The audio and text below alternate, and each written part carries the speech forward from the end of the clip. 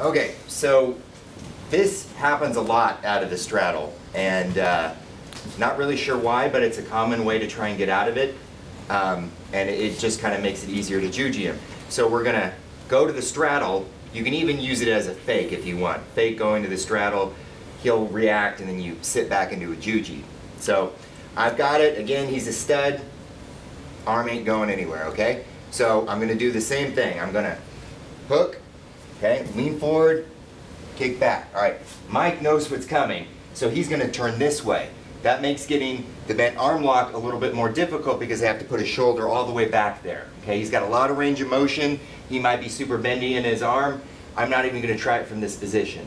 But what he has given me is a really easy way to sit back in a juji again, okay? He's rolled forward, I've already got this foot down, okay?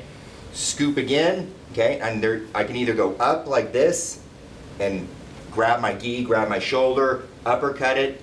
Sometimes if I'm doing no gi, I'll put it down and kind of, you know, half him. Uh, what do they call it? Half Nelson, okay? As soon as I get that, whichever way I decide to do it, okay, I'm to put that foot up and then just step around. Once I collect his head, you sit right back into juji, okay? And the difference between this and this is that I'm, I have all of that gravity working for me. Okay, I've got momentum on my side now. So when I hook this and sit back, it pops free for me because all my weight is go- now going to pull that back instead of just shoulder and back power. And see also, guys, see how he trapped Mike's arm so tightly to his chest and, you know, torso there? See, now Mike is rolling away, resisting, trying to get away. Derrick is literally hugging his arm to his chest, Mike's arm to his chest. And now, and notice his left leg is across the torso with control there. And see that? So it's a good control there. And he's like stepping. Now all he's going to do is kick his right leg over, roll back, and the body weight's going to roll him back into releasing the, uh, the arm. Oh. This is an old tried and true way of setting a guy up back into a juji. You're really baiting him into getting his arm.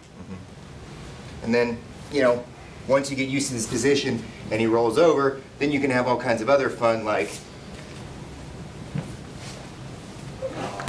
So you roll him over to head roll juji, finish up. which believe me has been done. It's a great move, you know. So there, there are a lot of variations there once you've got that. Again, this is how strong the leg press is.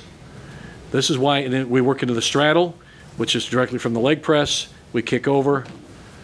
Look at that. So you got another release. So you can see how many variants you can do in the juji. all kinds of different ways to get it from there. The Okay. key is you're you're moving back and forth fluidly. You're transitioning between your pins. Okay, don't get married to one. Try them all out. Okay.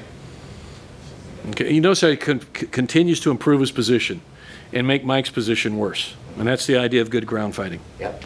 Or good standing fighting, whatever. Okay, let's, let's drill that, and then we'll go into the last one. We'll do a choke a little later. Okay, let's get him.